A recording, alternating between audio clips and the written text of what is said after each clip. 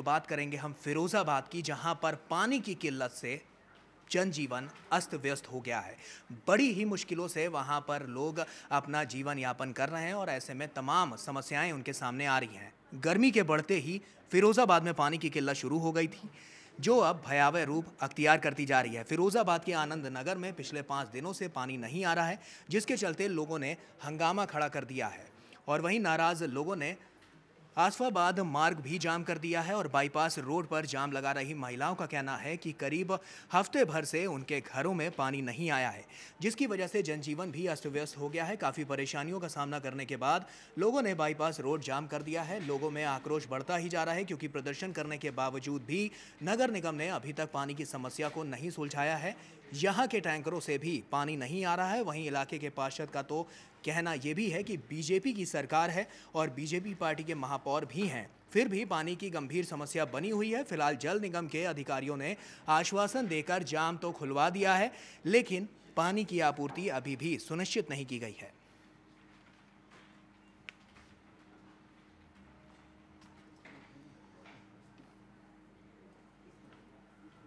और इसी खबर पर बातचीत करने के लिए हमारे साथ हमारे वरिष्ठ सहयोगी राजीव ओझा जी हैं, जो कि नेशनल वॉइस के एसोसिएट एडिटर हैं, उनसे बातचीत करते हैं और जानने की कोशिश करते हैं कि आखिर किस तरह की समस्याएँ वहाँ के जो लोग हैं, वो झेल रहे हैं। राजीव जी लगातार इस तरह की स्थिति वहाँ पर देखने को मिल रही है। सरकार बीजेपी की, डबल इंजन की सरकार है, देश में भी, प्रदेश में भी, और उसके बाद महापौर भी। क्यों नहीं प्रशासन ठीक तरीके से काम कर पा रहा है? आखिर क्यों नहीं इस किल्लत से लोगों को निजात मिल रही है, गौरव, आपने बात की, फिरोज़ाबाद की। देखिए पानी का ये संकट है इतना गंभीर है कि इसको सिर्फ़ फिरोज़ाबाद तक सीमित नहीं किया जा सकता। आ, अभी बहुत हाल में एक दो दिन पहले ही नीति आयोग की एक रिपोर्ट आई है जिसमें कहा गया है कि पूरा देश की पचहत्तर फ़ीसदी आबादी गंभीर पानी के संकट से जूझ रही है।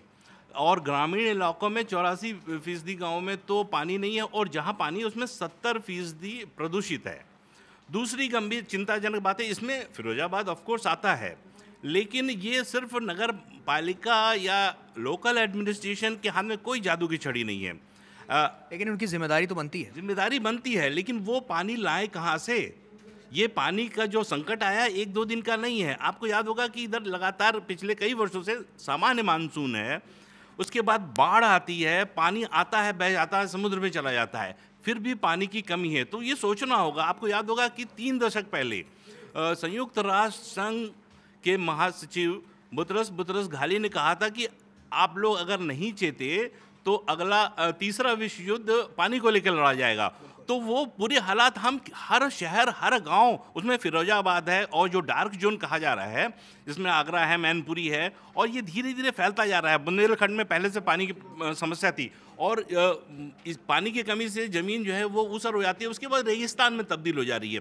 लेकिन अब ये तो एक जल प्रबंधन का मामला है। अगर हमने अपने जल प्रबंधन को ठीक नहीं किया तो इस तरह की समस्या आएँगी। पानी है, लेकिन हम, जहाँ पानी है उसको हम पी नहीं सकते। पानी बहुत नीचे चला गया है दो तीन मीटर नीचे हर साल जा रहा है। तो आम पब्लिक क्या करे? उस, वो तो लोकल एडमिनिस्ट्रेशन के पास जाएगी। इसमें एक वृहद नीति बनाने की ज़रूरत है। जैसा कि नीति आयोग ने कहा है, और आपको पता है कि गुणवत्ता के लिहाज से विश्व गुणवत्ता सूचकांक में भारत 122 देशों में 120वें स्थान पे है। मतलब इससे खराब स्थिति हो ही नहीं सकती कि नीचे से दूसरे नंबर पे कि यहाँ पीने योग्य पानी नहीं है। तो इसके लिए तो हम एक दो दिन, मान लीजिए हमने प्रयास करके पाँच छः दिन, हफ़्ते, दस दिन में समस्या सुलझा दी। लेकिन ये तो सतत इस पर प्रयास करना होगा। इसमें बाकी से पानी की समस्या पर्यावरण से जुड़ी है।